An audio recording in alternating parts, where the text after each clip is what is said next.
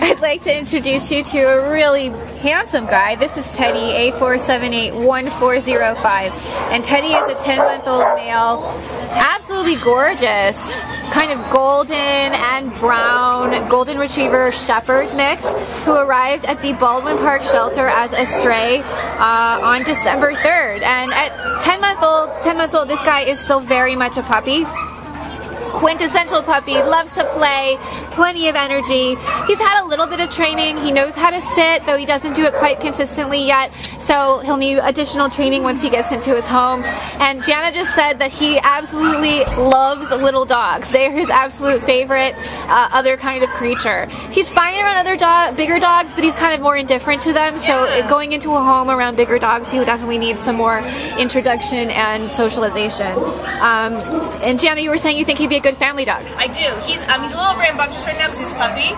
Um, so if there's kids, you want to make sure you know to supervise or older kids that he can't knock over by accident. He has it's all love, but he's just he needs the training and exercise that any puppy needs. Um, but yeah, he definitely likes to give hugs, and I don't think he he knows how big he is. He thinks he's a lap dog, as you can see.